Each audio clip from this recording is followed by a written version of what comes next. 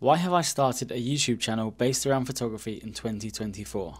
I'll start by telling you that my motivation for shooting personal projects over the last few years has been non existent.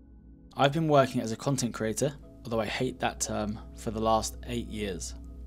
With that, the idea of picking up my camera for myself just hasn't been something I've wanted to do. Creating for others as a 9 to 5 job for some reason had just dissolved my desire to be a creative out of work hours. Until I started this channel. Starting this journey has given me a new reason to get back to it, reigniting a spark I had lost and I'm now really enjoying being back in the city shooting for myself. A refreshing, different way of being creative. Long form content.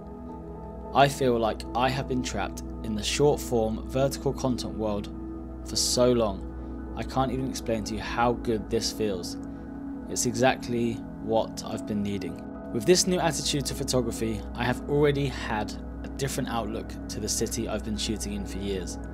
Managing to find some new compositions like this one. A mixture of waiting for the sun to come back out for good lighting and also catching the London buses at the right time. This has made this shot very challenging, but I'm very happy with these four photographs, especially this last one. I love how the busy crossing on the left hand side gives the photo more drama, while the two buses captured have nice trails without being too dominant over the Parliament building and Big Ben. This is a shot I have never captured before. I had very little planning for what I wanted to get out of this quick afternoon visit to London. I just knew with the weather looking as good as it did, I wanted to get out and see what I could capture on a walk around the city. And it seemed everybody else had a very similar idea. This place was ridiculously busy, which does make for an interesting composition like this one. However, as a photographer trying to capture landmarks, it brings a new set of challenges. As you can see here, busy places and tripods really don't mix together well and I actually felt like I was a massive annoyance to everybody walking past. That with the possibility of anybody accidentally kicking my tripod, and we have a long exposure challenge like no other. In the end, people started walking around me in front of camera, and as much as this frustrated me, it's something I can't blame them for doing. Eventually, though, after several shots ruined by passers by, we managed to capture a few empty long exposure shots. I'm pretty happy with these but they could be done better at a quieter time of day.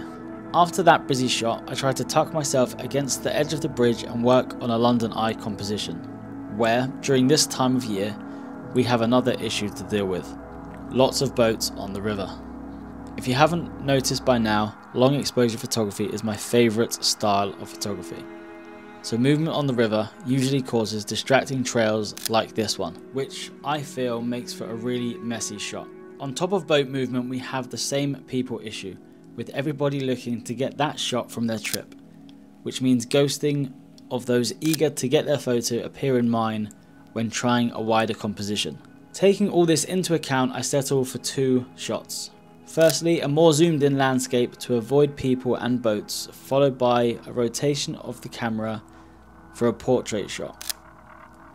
Again, happy but not exactly blown away by these images, and these will also join the reshoot list. I move away from this very busy location and walk down the River Thames to Blackfriars to shoot an old favourite of mine.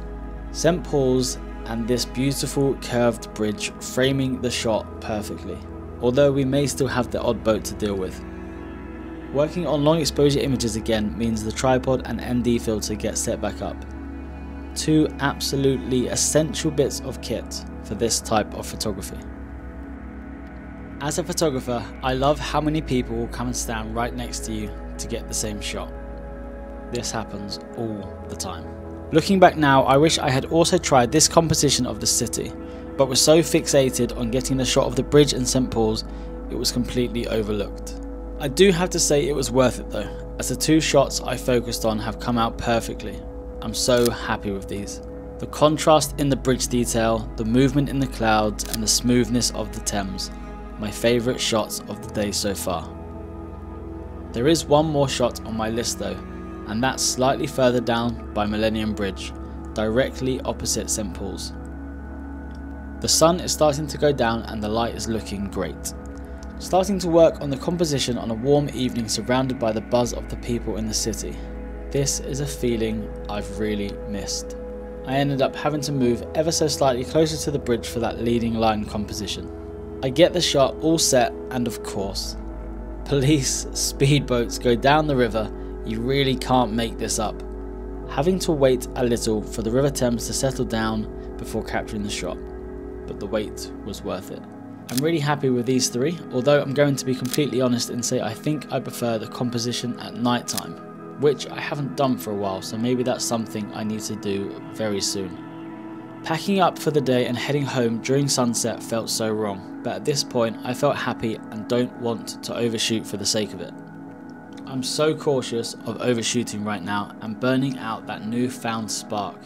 It's so important for me to walk away when I feel it's right to do so because we are only just getting started again.